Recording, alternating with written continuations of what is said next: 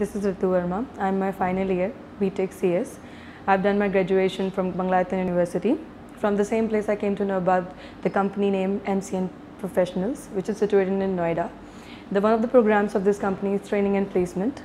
I've been on, it's a six months, duration of the program is six months, and I've been training on Android, Android programming, and uh, I've got placed in my fourth month of my training. And uh, I'm, I'm working as a, I'm, I joined as a testing engineer in Impact QA company that also situated in the same city, Noida. And the teacher and the trainer of this company is brilliant and having a great qualifications. So I would prefer that you guys should have joined here, having a nice atmosphere